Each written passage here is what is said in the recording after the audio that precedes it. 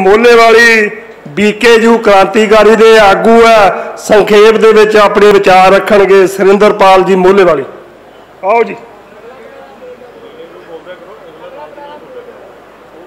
ਸਤਿਕਾਰਯੋਗ ਪੰਡਾਲ 'ਚ ਬੈਠੇ ਮੇਰੇ ਕਿਸਾਨ ਵੀਰੋ, ਮੇਰੀ ਭੈਣੋ, ਪਹਿਲਾਂ ਮੈਂ ਅਪੀਲ ਕਰੂੰਗਾ ਉਹੀ, ਅਪੀਲ ਮੇਰੀ ਇਹ ਹੈ ਕਿ ਸਾਡੇ ਕੋਲ ਚਾਹ ਵਾਲਿਆਂ ਤੋਂ ਲੈ ਕੇ ਹੋਰ ਲੰਗਰ ਭੰਡਾਰ ਜਿਹੜੇ 190 ਆ।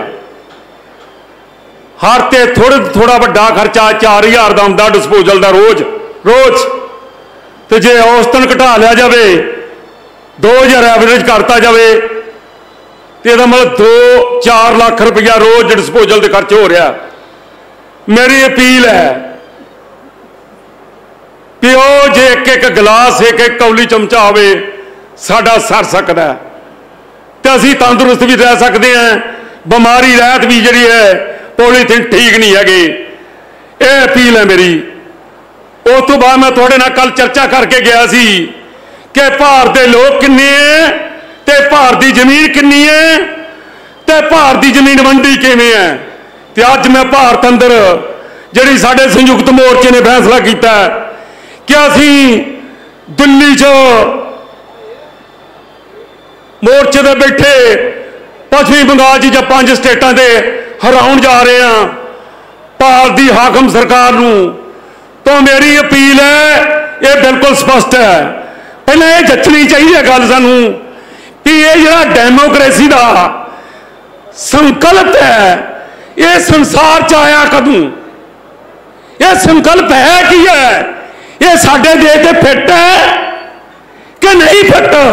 ਤਾਂ ਮੈਂ ਕਹੂੰਗਾ ਕਿ 16ਵੀਂ ਸਦੀ ਚ ਜਦੋਂ ਸਾਡੇ ਗੁਰੂ ਨਾਨਕ ਦੇਵ ਜੀ ਉਦਾਸੀਆਂ ਕਰ ਰਹੇ ਸੀ ਤਾਂ 16ਵੀਂ ਸਦੀ ਚ ਫਰਾਂਸ 'ਚ ਇੱਕ ਇਨਕਲਾਬ ਆਇਆ ਜ਼ਗੀਰਦਾਰੀ ਢਹਿ ਢੇਰੀ ਕਰਕੇ ਸਰਮਾਇਦਾਰੀ ਇਨਕਲਾਬ ਆਇਆ ਤੇ ਸਰਮਾਇਦਾਰੀ ਆ ਬੰਦ ਕਰ ਦਿਆ ਸਰਮਾਇਦਾਰੀ ਦਾ ਇੱਕ ਰਾਈਟਰ ਉਸ ਟਾਈਮ ਇੱਕ ਸੰਕਲਪ ਲੈ ਕੇ ਆਇਆ ਭਈ ਸਰਮਾਇਦਾਰੋ ਜੇ ਕਿਸਾਨਾਂ ਤੇ ਮਜ਼ਦੂਰਾਂ ਦੇ ਮਿਹਨਤ ਕੱਚ ਕਾਮਿਆਂ ਦੇ ਰਾਜ ਕਰਨਾ ਹੈ, ਤੇ ਤੁਸੀਂ ਪੰਜ ਤਰ੍ਹਾਂ ਦੀ ਡੈਮੋਕ੍ਰੇਸੀ ਇਹਨਾਂ ਨੂੰ ਜ਼ਰੂਰ ਦਿਓ। ਉਹ ਕਿਹੜੀ ਡੈਮੋਕ੍ਰੇਸੀ ਸੀ? ਉਹ ਰੂਸੋ ਨਾਂ ਦਾ ਕਵੀ ਲੈ ਕੇ ਆਇਆ। ਰੂਸੋ ਨਾਂ ਦਾ ਕਵੀ ਸੰਸਾਰ 'ਚ ਜਿਹੜੀ ਡੈਮੋਕ੍ਰੇਸੀ ਹੈ ਵੋਟਾਂ ਪਾਉਂਦੇ ਆ ਉਹ ਪੰਜ ਮਸਲੇ ਲੈ ਕੇ ਆਇਆ। ਪਹਿਲਾ ਕਿ ਇਹਨਾਂ ਨੂੰ ਵੋਟ ਪਾਉਣ ਦਾ ਅਧਿਕਾਰ ਦਿਓ। ਮਜ਼ਦੂਰਾਂ ਨੂੰ ਕਿਸਾਨਾਂ ਨੂੰ ਮਿਹਨਤ ਕਸ਼ ਕਾਮਿਆਂ ਨੂੰ। ਜੇ ਸਰਮਾਏਦਾਰ ਉਹਨਾਂ ਤੇ ਰਾਜ ਕਰਨਾ ਤਾਂ ਪੰਜਾਂ ਸਾਲਾਂ ਬਾਅਦ ਇਹਨਾਂ ਦਾ ਗੁੱਸਾ ਉਹ ਖਾਰਜ ਕਰ ਦਿਓ। ਮੇਰੇ ਕੋਲ ਟਾਈਮ ਘੱਟ ਹੋਊਗਾ ਮੈਂ ਕੁਝ ਗੱਲਾਂ ਤੋਂ ਬਚੂਗਾ ਉਹ ਗੁੱਸੇ ਦਾ ਮਤਲਬ ਇਹ ਹੁੰਦਾ ਹੈ, ਜਦੋਂ ਸਾਡੇ ਦੇਸ਼ ਅੰਦਰ ਸਟੀਮ ਬਣਦੀ ਹੈ ਜਾਂ ਸਾਡੇ ਘਰ ਗੈਸ ਤੇ ਉੱਤੇ ਚੁੱਲ੍ਹੇ ਤੇ ਹੀ ਕੁੱਕਰ ਚਲਾਉਂਦੇ ਆ ਉਹਦੇ ਅੰਦਰ ਗੈਸ ਬਣ ਜਾਂਦੀ ਹੈ ਤੇ ਜੇ ਉਹ ਸੀੜੀ ਨਾ ਵੱਜੇ ਤੇ ਫਿਰ ਫਟਣ ਤੋਂ ਬਚਾਉਣ ਲਈ ਸਾਡੀ ਮਾਂ ਭੈਣ ਉਹਦੀ ਛੀਟੀ ਵਜਾਉਂਦੀ ਹੈ, ਤਾਂ ਗੈਸ ਨਿਕਲ ਜਾਂਦੀ ਹੈ, ਕੁੱਕਰ ਫਟਣ ਨੂੰ ਵੱਜ ਜਾਂਦਾ ਹੈ। ਤਾਂ ਭਾਰਤ ਦੇ ਵੀ ਸੰਸਾਰ ਦੇ ਇਹ ਵੋਟ ਸਿਸਟਮ ਰਾਹੀਂ ਲੋਕਾਂ ਦਾ ਗੁੱਸਾ ਉੱਥੋਂ ਨੂੰ ਨਿਕਲਦਾ ਹੈ। ਦੂਸਰੀ ਗੱਲ ਲੈ ਕੇ ਆਇਆ ਕਿ ਜੇ ਤੁਸੀਂ ਲੋਕਾਂ ਨੂੰ ਮੁਫਤ ਐਜੂਕੇਸ਼ਨ ਸਹੂਲਤਾਂ ਦਿਓ। ਤੀਸਰੀ ਗੱਲ ਲੈ ਕੇ ਆਇਆ, ਲੋਕਾਂ ਨੂੰ ਮੁਫਤ ਸਿਹਤ ਸਹੂਲਤਾਂ ਦਿਓ ਲੈ ਕੇ। ਚੌਥੀ ਲੈ ਕੇ ਆਇਆ ਕਿ ਉਹਨਾਂ ਦੀ ਜ਼ਿੰਦਗੀ ਦੀ ਸਿਕਿਉਰਿਟੀ ਕਰੋ, ਉਹਨਾਂ ਦੀ ਜਾਨ ਮਾਲ ਦੀ ਰਾਖੀ ਕਰੋ। ਤੇ ਪੰਜਵੀਂ ਲੈ ਕੇ ਆਇਆ ਕਿ ਬੁਢਾਪੇ ਵੇਲੇ ਜਦੋਂ ਬੁੱਢੇ ਹੋ ਜਾਂਦੇ ਲੋਕ ਉਹਨਾਂ ਦੀ ਜ਼ਿੰਦਗੀ ਕਿਵੇਂ ਜੁਣੀ, ਉਹਨਾਂ ਬੁਢਾਪਾ ਪੈਨਸ਼ਨ ਦਿਓ। ਇਹ ਫਰਾਂਸ 'ਚ ਰੂਸੋ ਕਵੀ ਲੈ ਕੇ ਆਇਆ ਤੇ ਫਰਾਂਸ ਦੇ ਹਾਕਮਾਂ ਨੇ ਲਾਗੂ ਕੀਤਾ ਸਰਮਾਏ ਦੇ ਦੇਸ਼ਾਂ 'ਚ ਇਹ ਲਾਗੂ ਹੁੰਦਾ ਸਾਡੇ 'ਚ ਕੱਲ ਮੈਂ ਬੋਲ ਕੇ ਗਿਆ ਕਿ ਜ਼ਮੀਨ ਕਿਵੇਂ ਵੰਡੀ ਹੋਈ ਹੈ? ਇੱਥੋਂ ਦਾ ਜ਼ਗੀਰਦਾਰ ਕਿਵੇਂ ਪ੍ਰਬਲਤਾ ਹੈ? ਜ਼ਮੀਨ ਦਾ ਵੱਡਾ ਹਿੱਸਾ ਕਿਵੇਂ ਕਾਰਪੋਰੇਟ ਘਰਾਣਿਆਂ ਕੋਲ ਤੇ ਬਾਕੀ ਜਿਹੜੀ ਸਾਡੀ ਹਾਲਤ ਆ, ਉਹ ਕਿਵੇਂ ਹੈ? ਸੋ ਮੈਂ ਬੇਨਤੀ ਕਰੂੰਗਾ ਦੋਸਤੋ, ਇਹ ਸਪਸ਼ਟ ਹੈ ਕਿ ਵੋਟਾਂ ਅਸੀਂ ਮੋਦੀ ਦੇ ਖਿਲਾਫ ਭਗਤਾਉਣੀਆਂ ਚਾਹੁੰਦੇ ਆ ਬਿਲਕੁਲ ਭੁਗਤਾਉਣੀਆਂ ਚਾਹੁੰਦੇ ਆ ਕਿੰਨੂ ਪਾਓ, ਕਿੰਨੂ ਨਾ ਪਾਓ, ਇਹ ਸਾਡੇ ਸਟੇਜ ਦਾ ਕੋਈ ਸੰਕਲਪ ਨਹੀਂ ਹੈਗਾ। ਸਾਡਾ ਸਪਸ਼ਟ ਹੈ ਕਿ ਮੋਦੀ ਨੂੰ ਨਹੀਂ ਵੋਟ ਪਾਣੀ ਹੋਰ ਜਿਹਨੂੰ ਮਰਜ਼ੀ ਪਾਓ ਕੱਲ ਨੂੰ ਸਾਨੂੰ ਪੁੱਛੇ, ਫਿਰ ਕਾਂਗਰਸੀਆਂ ਨੂੰ ਪਾ ਗਏ ਨਥਿੰਗ ਮੇਰੇ ਤੋਂ ਮੇਰਾ ਵੱਡਾ ਵੀਰ ਬਹਿਰੂ ਬੋਲ ਕੇ ਗਿਆ ਹੈ। ਕਿ ਮਨਮੋਹਨ ਸਿੰਘ ਨੇ ਕਿਤਨਾ ਸਾਡੇ ਚੌਲ ਚਿੱਟੇ ਕਿਤਿਆ ਸੁਆਮੀ ਨਾਥ ਰਿਪੋਰਟ ਦੇ ਕੋਰ ਤੱਕ ਕਿਵੇਂ ਗਏ ਆ? ਸਾਨੂੰ 75 ਸਾਲ ਹੋ ਗਿਆ। ਮੇਰੇ ਬਾਪੂ ਨੂੰ, ਮੇਰੀ ਦਾਦੀ ਨੂੰ, ਮੇਰੇ ਬਾਪ ਨੂੰ, ਮੈਨੂੰ ਤੇ ਮੈਨੂੰ ਆਪ ਤਜਰਬਾ ਹੋ ਗਿਆ 18 ਸਾਲ ਦਾ ਹੋ ਗਿਆ। ਵੋਟਾਂ ਪਾਪਾ ਕੇ ਥੱਕ ਗਏ। ਕਿਸੇ ਨੇ ਸਾਡੀ ਸੁਣੀ? ਇੱਥੇ ਕਿਉਂ ਬੈਠੇ ਆ? ਸਾਡਾ ਕੋਲ ਤੇ ਟੇਗਾ ਕੋਲ ਤੇ। ਤੇ ਸਾਨੂੰ ਕੋਲ ਤੇ ਟੇਕਾ ਰੱਖ ਕੇ ਜੇ ਕੋਈ ਲਿਆ ਅਜ ਤੱਕ, ਕਿਸਾਨਾਂ ਨੇ ਲਿਆ, ਮਜ਼ਦੂਰਾਂ ਨੇ ਲਿਆ, ਮੁਲਾਜ਼ਮਾਂ ਨੇ ਲਿਆ, ਤੇ ਕੋਲ ਤੇ ਟੇਕ ਕੇ ਰੱਖ ਕੇ ਲੈ ਸਕਦੇ ਹੋ। ਇਸ ਕਰਕੇ ਮੈਂ ਤੁਹਾਨੂੰ ਬੇਨਤੀ ਕਰਦਾ ਇਹ ਠੀਕ ਹੈ, ਸਾਡੇ ਮੋਰਚੇ ਦਾ ਫੈਸਲਾ ਅਸੀਂ ਸਹਿਮਤ ਹਾਂ, ਮੋਰਚਾ ਗਿਆ, ਆਗੂ ਗਏ ਨੇ।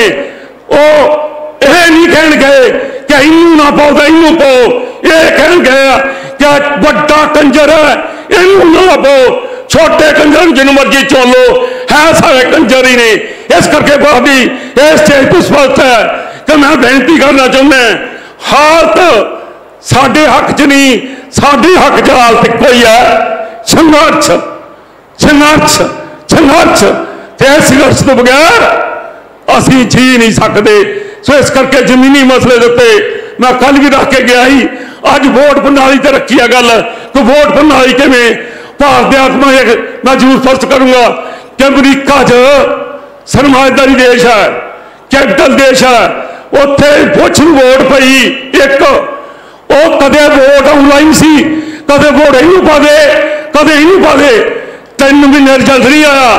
ਤੇ ਸਾਡੇ ਕੀ ਹੁੰਦਾ? ਸਾਰੇ ਵੋਟਾਂ ਪੈਂਦੀਆਂ ਨੇ। ਆਣ ਕੇ 2000 ਰੁਪਇਆ ਪਾਉਂਦੇ ਨੇ। ਆ 2000 ਫਾਲਾ ਯਾਰ ਵੋਟਾਂ ਵਾਦੀ ਉਹ ਕਹਿੰਦਾ, ਵੋਟਾਂ ਵੀ ਨਹੀਂ ਪਾਉਂ ਸਕਦਾ ਤੂੰ ਖੋਤਾ ਖਰੀਦ ਦੇ ਇੱਕ ਖਾਣ ਹੀ ਬਣਾਤਾ ਖੋਤਾ ਲਿਆ ਦੇ ਮੈਂ ਯਾਰ ਕੰਮ ਕਰ ਲੂੰਗਾ। ਤੇ ਖੋਤਾ ਜੀ ਲੈਣ ਗਿਆ ਮਾਰਕੀਟ 'ਚ, ਉਹ 8000 ਦਾ ਮਿਲੇ। ਉਹ ਖੋਤਾ ਲੈਣਾ ਸੀ, ਤੇ ਵੋਟ ਖਰੀਦਣੀ ਸੀ। ਸਾਡੇ ਦੇਸ਼ ਦੀ ਹਾਲਤ ਕੀ ਹੈ? ਤੂੰ ਆਣ ਕੇ ਕਹਿੰਦਾ, ਯਾਰ ਖੋਤਾ ਵੀ ਮਹਿੰਗਾ 8000 ਦਾ। ਮੈਂ ਕਹਿੰਦਾ, ਮੈਂ ਖੋਤੇ ਵੀ ਮਾੜਾ ਹੈ। ਮੈਂ ਖੋਤੇ ਵੀ ਮਾੜਾ ਹੈ। ਮੈਨੂੰ 2000 ਕਿਉਂ ਦੇਣੇ ਇਹਦਾ ਮਤਲਬ ਕੀ ਬਣਦਾ ਹੈ? ਕਿ ਸਾਡੇ ਦੇਸ਼ 'ਚ ਵੋਟ ਪ੍ਰਣਾਲੀ ਸਿਸਟਮ ਖਰੀਦਦਾ ਹੈ। ਜਿਹੜੇ ਜ਼ਮੀਨਦਾਰ ਲੋਕ ਨੇ ਜਿਹੜੇ ਮੈਂ ਕੱਲ ਬੋਲ ਕੇ ਗਿਆ ਸੀ ਕਿ 15% ਲੋਕਾਂ ਕੋਲ 50% ਹਿੱਸਾ ਜ਼ਮੀਨ ਦਾ, ਉਹ ਲੋਕ ਸਾਡੀ ਵੋਟ ਵੀ ਖਰੀਦਦੇ ਮਿੱਤਰੋ। ਉਹ ਫਿਰ ਸਾਡੇ ਰਾਜ ਕਰਾਉਂਦੇ ਨੇ, ਆਪਣੇ ਭੌਂਕੜ ਵਾਲੇ ਬੰਦੇ ਚੋਂਦੇ ਨੇ, ਆ ਮੋਦੀ ਵਰਗੇ, ਜਾਂ ਹੋਰ ਕੋਈ ਲੋਕ, ਉਹਨਾਂ ਦੇ ਵੋਟ ਵਟੋਰੂ, ਉਹਨਾਂ ਨੂੰ ਦੱਲੇ, ਉਹ ਸਾਡੀਆਂ ਵੋਟਾਂ ਨਾਲ ਰਾਜ ਕਰਦੇ ਨੇ ਇੱਥੇ, ਤੇ ਕਹਿੰਦੇ ਅਸੀਂ ਰਾਜ ਕਰਦੇ ਆਂ ਪਰ ਰਾਜ ਉਹ ਨਹੀਂ ਕਰ ਰਹੇ ਹੁੰਦੇ।